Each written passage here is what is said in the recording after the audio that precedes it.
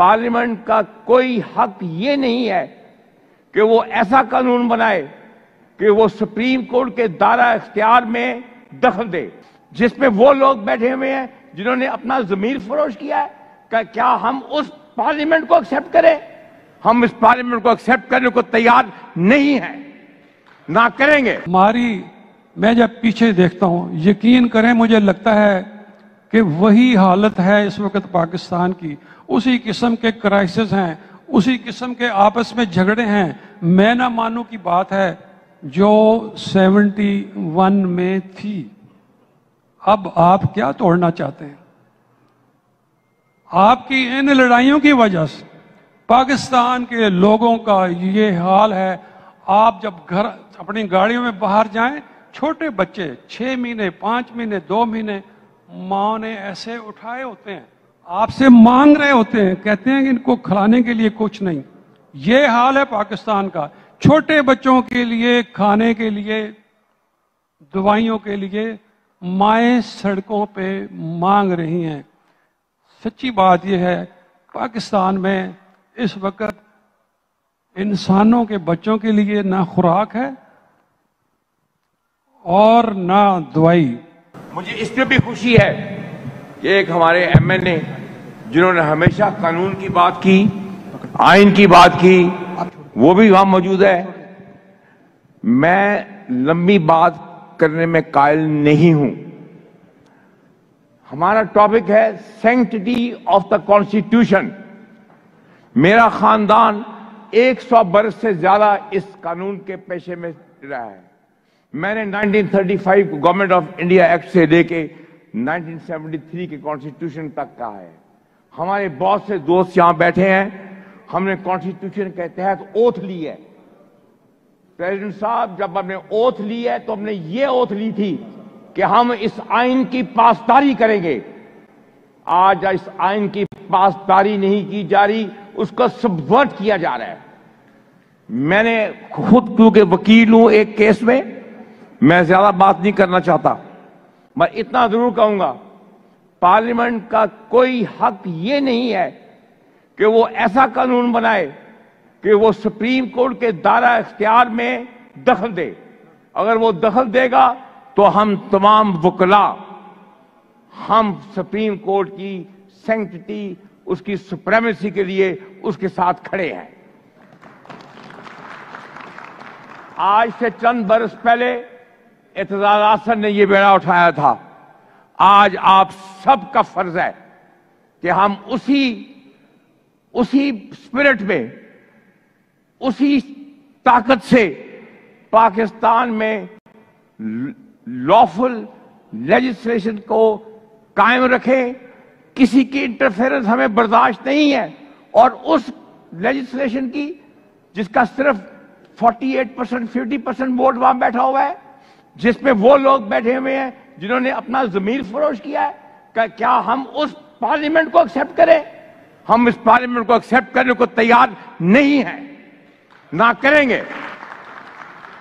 ये हमारे वकला का फ़र्ज़ है। मैं बात नहीं इसलिए जवाल लंबी करना चाहता। मेरे दोस्त सुप्रीम कोर्ट बार के प्रेसिडेंट बैठे हैं। मैं चाहता हूँ कि मैं उनकी बात सुनूं, मगर मैं इतना ज़रूर कहूँगा कि मैं इस उम्र में भी जो मेरा प्रेसिडेंट कहेगा जो मेरे बाकी कहेंगे, मैं उनका साथ दूँगा इन इंस्टीट्यूशन मेकर्स ने उसको इनकॉर्पोरेट कर दिया। और हमें डेमोक्रेसी भी दी और साथ ही डेमोक्रेसी वो दी जिसमें पार्लियामेंट्री सिस्टम दिया। हमारी अदालतों ने मुख्तलफ कॉन्स्टिट्यूशनल केसेस में ये कहा कि हमारे कॉन्स्टिट्यूशन के जो बेसिक फीचर्स हैं उसमें एक उन्होंने पार्लियामेंट्री फॉर्म ऑफ़ गवर्नमेंट को भी करार दिया, फेडरलिज्म और पार्लियामेंट्री गवर्नमेंट को। इसको बहुत सारे केसेस की एग्जांपल दी जा सकती है। मैं सिर्फ़ महमूद अचकजई केस को मेंशन करूँगा। वो इसलिए कि इलेक्टेड गवर्नमेंट जब 77 में डिपोज की गई और डिक्टेटर की गवर्नमेंट आई तो बहुत सी अमेंडमेंट कॉन्स्टिट्यूशन में आई और प्रेसिडेंशियल ऑफ़िस जो है it became more powerful than before तो इन अमेंडमेंट्स को जब एट्थ अमेंडमेंट के ज़रिए पार्लियामेंट ने पास किया तो वो चैलेंज हुई सुप्रीम कोर्ट में जो उसके ऊपर ऑब्जेक्शन से मैं उसमें नहीं जाऊँगा, हम अपने टॉपिक से दूर चले जाएँगे। बहरहाल, कोर्ट ने ये कहा, बावजूद इन अमेंडमेंट्स के, बावजूद इसके कि प्रेसिडेंट को ज़्यादा पावर्स दे दी गई हैं essentially constitution is still the parliamentary system तो इसलिए हमारे एट्थ अमेंडमेंट के बावजूद 77 के मार्शल लॉ के बावजूद भी सुप्रीम कोर्ट ने यह डिक्लेयर कर दिया, जो कि बाद में रिपीट हुआ कई जजमेंट्स में कि हमारा सिस्टम पार्लियामेंट्री है। पार्लियामेंट्री सिस्टम में जो लिंच पिन है सिस्टम में, जो मोस्ट इंपॉर्टेंट ऑफ़िस है, वो ऑफ़िस है the prime minister, and province में द चीफ मिनिस्टर। मैं इस सिलसिले में article 48 is very clear that the president shall act on the advice of the prime minister. इसको मई कई केसेस में सुप्रीम कोर्ट ने। इसके अलावा प्राइम मिनिस्टर कैसे चुना जाता है? कौन चुना जाता है? कौन इलेक्ट करता है? National assembly. तो हमारे आर्टिकल 52 में नेशनल असेंबली और आर्टिकल 107 में प्रोवेंशियल असेंबलीज प्रोवाइड की गई। ये हाउसेस प्राइम मिनिस्टर को और चीफ मिनिस्टर को इलेक्ट करते हैं। 52 और 107 आर्टिकल्स में नेशनल असेंबली और प्रोविंशियल असेंबली की मियाद मुकर कर दी गई कि they will they will be in existence for five years लेकिन उसी, इन्हीं दोनों आर्टिकल्स में लिख दिया unless sooner dissolved I repeat unless sooner dissolved kindly note these words are very important which I will elaborate later on so पाँच साल के लिए नेशनल असेंबली और प्रोविंशियल असेंबली मार्ज वजूद में आ गई, मगर वहाँ लिख दिया कि ये पहले डिजॉल्व की जा सकती हैं। पाँच साल कंप्लीट होने से पहले भी। आर्टिकल 91 के तहत जब ये असेंबली आ गई तो office of the prime minister आ गया आर्टिकल 130 के तहत चीफ मिनिस्टर का आ गया। अब जहाँ आर्टिकल 52 और 10 प्रोवाइड किया गया फॉर द ड्यूरेशन उसी तरह आर्टिकल 58 में और आर्टिकल 112 में प्राइम मिनिस्टर और चीफ मिनिस्टर को एडवांटेज दे दिया गया कि वो अगर टर्म पूरी होने से पहले ड्यूरेशन ऑफ़ फाइव इयर्स पूरी होने से पहले, अगर चाहें तो प्रेसिडेंट और गवर्नर को रिस्पेक्टिवली एडवाइस करके नेशनल असेंबली और प्रोविंशियल असेंबली डिसॉल्व कर सकते हैं। और अगर प्रेसिडेंट और गवर्नर नहीं करेंगे तो it will stand dissolve after expiration of 48 hours अब ये दोनों प्रोविज़न इन कंफॉर्मिटी हैं विद आर्टिकल 52 और 107 अब क्योंकि there has to be prime minister elected prime minister caretaker नहीं and chief minister all the times in the parliamentary system except when they are dissolved when the assemblies are dissolved इसलिए फ़ौरन article 224 में provide कर दिया गया time of election अब time of election या dissolution of assemblies उनके बाद जनरल इलेक्शन दो सूरत हाल हो सकती है। वन अगर तो असेंबली पाँच साल की टर्म पूरी करे और डिसॉल्व हो तो आर्टिकल 224 की क्लास वन डिमांड करती है कि विद इन सिक्सटी डेज़ नया इलेक्शन होना चाहिए not later than sixty days और अगर असेंबली या प्रोविंशियल असेंबली टर्म पूरी करने से पहले डिजॉल्व हो जाए। यानी अनलेस सूनर डिजॉल्व तो 90 नॉट लेटर देन 90 डेज़ में ये इलेक्शन होने ज़रूरी हैं। क्योंकि पार्लियामेंट्री सिस्टम में इन हाउसेस का मौजूद होना ज़रूरी है। और आर्टिकल 218 और 19 के तहत ये ड्यूटी लगा दी गई इलेक्शन कमीशन की कि वो ये इलेक्शन इस टाइम के अंदर करवाए। अब यहाँ पे बड़ी इंटरेस्टिंग सूरत हाल है कि आर्टिकल 220 में इलेक्शन कमीशन की को डायरेक्शन के अलावा कॉन्स्टिट्यूशन ने बाउंड कर दिया कि all executive authority shall act in of the election commission no executive all executive authority के साथ फेडरल और प्रोवेंशियल का लफ्ज इस्तेमाल होता है। चीफ एग्जेक्टिव फेडरल एग्जेक्टिव का कौन है? Prime minister provincial chief executive कौन है? चीफ मिनिस्टर लिहाजा तमाम executive authority headed by prime minister and chief minister इनकी ये ड्यूटी है कि वो इलेक्शन कमीशन को जिस चीज़ की भी ज़रूरत है, वो प्रोवाइड करें।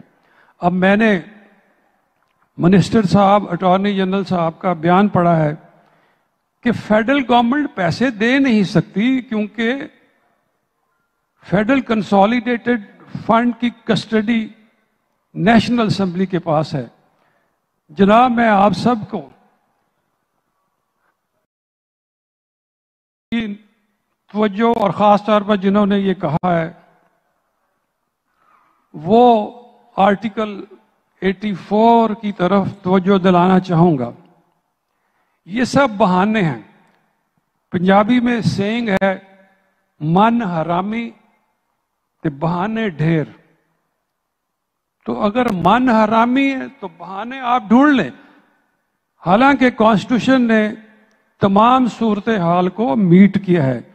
आर्टिकल 84 ये कहता है, अगर कोई need has if need has a reason यानी बजट के के अलावा अगर कोई ऐसी नीड एराइज हो जाए, जो बजट स्टेटमेंट में कंटेम्पलेट नहीं की गई तो आर्टिकल 84 फेडरल गवर्नमेंट को without referring it to the national assembly expenditure को फेडरल गवर्नमेंट को कॉन्स्टिट्यूशन ने आर्टिकल 84 में ऑथोराइज किया हुआ है। काइंडली सी आर्टिकल 84 अब आप देखें कि अगर बाद सिचुएशन में नेशनल असेंबली है ही नहीं if national assembly stand dissolve तो गवर्नमेंट क्या बहाना करेगी? नेशनल असेंबली है ही नहीं। इसलिए फेडरल गवर्नमेंट कैसे एक्सपेंडिचर इलेक्शन के लिए ऑथोराइज करे? इसके लिए भी जो कॉन्स्टिट्यूशन वाले थे, बनाने वाले थे, वो शायद अपनी कौम को समझते थे। उन्होंने आर्टिकल 86 प्रोवाइड कर दिया और उन्होंने कहा कि where national assembly stand dissolve national assembly हो ही ना तो आप ये कहेंगे किससे इजाज़त लें? कस्टोडियन तो नेशनल असेंबली है। आर्टिकल 86 कहता है where national assembly stand dissolve federal government for four months can authorise the expenditure. लिहाजा, असेंबली हो, असेंबली डिजॉल्व हो, आर्टिकल 84 और 86 के तहत फेडरल गवर्नमेंट ये एक्सपेंडिचर करने की ऑथोराइज है।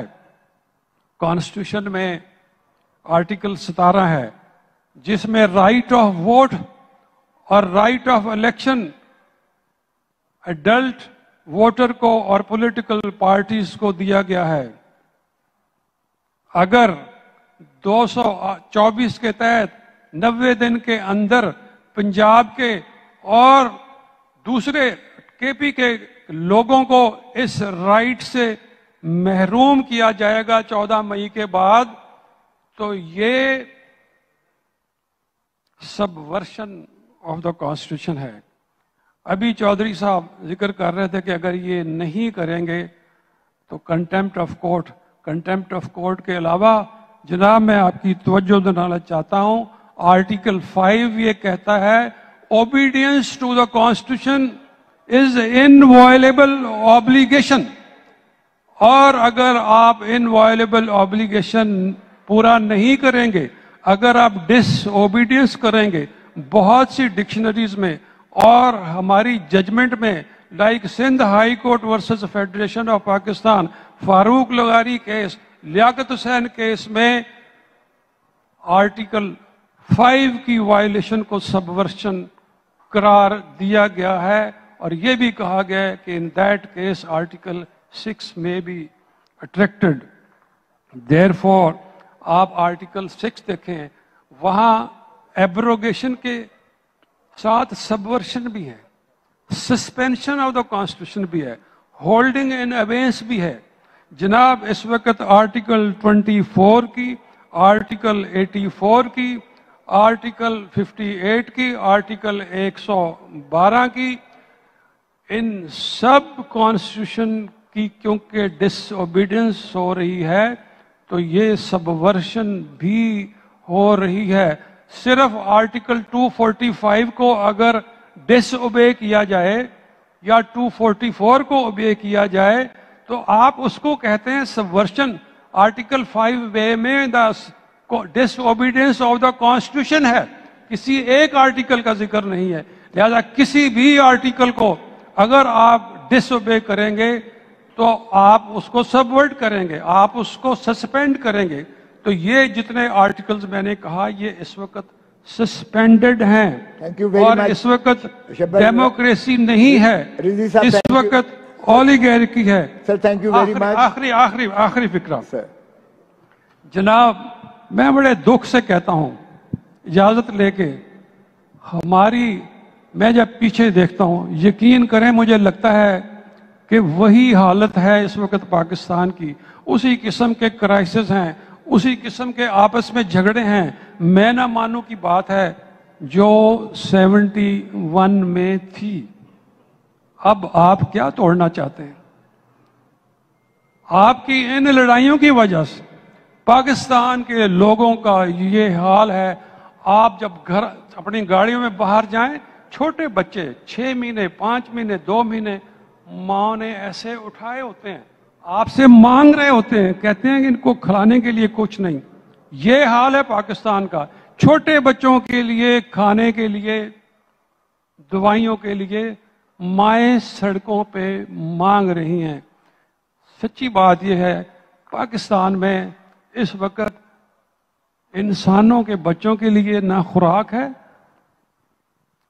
और ना दवाई।